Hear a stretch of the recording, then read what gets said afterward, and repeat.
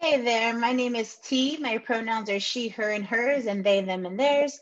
And I am the Equity and Activities Coordinator for the Office of Student Activities at the College of Marin. My contact information is here on the screen, T. Perales at marin.edu. And you could also stay in the mix by following us on Instagram, College of Marin.studentactivity.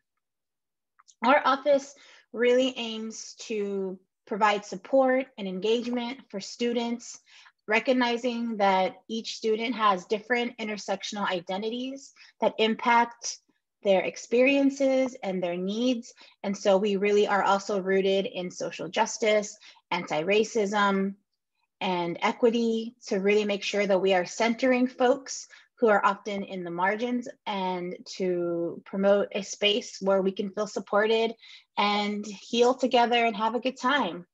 So I'll share with you with some of the programs that we put on and some of the resources that are also available from partners in our community who are doing extraordinary work.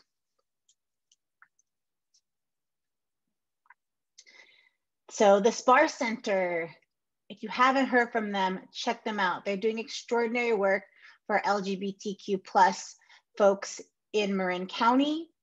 And before we went remote, one of the programs that happened monthly was our Cutie Pie Cafe. This was in partnership with the Spahr Center, and it was for a monthly safer space for LGBTQ plus folks to come together once a week, eat some pie, build community, and get support and have a good time.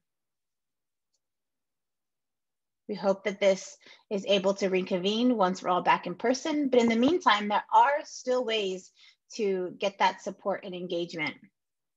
The Spahr Center just began a new support group that happens every Wednesday from 4 to 5 p.m. This is for LGBTQ plus young adults ages 18 through 25. And if you want to get the Zoom information and stay in the mix for that, you can email Asi Fuentes at thespahrcenter.org. That's here on the bottom of the screen, ASI F-U-E-N-T-S at spahrcenter.org. And don't worry, I'll also share with you the social media, so you also can stay in the mix that way as well. I also wanted to let folks know that the Office of Student Activities and Advocacy and the programs that I put on and the support that we give really is understanding that our different identities and intersect to impact our experiences and our needs. So not only did our is our Cutie Pie Cafe or programs that are really aimed to focus on LGBTQ plus identity, um, what we are doing, but also our other programs also are really wanting to really highlight um, and promote visibility and engagement around intersectional identity. So for example, we have a Women of Color Cafe. This is still a program that's happening every month. And we really look at what are our identities as women of color, as femme of color, gender nonconforming people of color?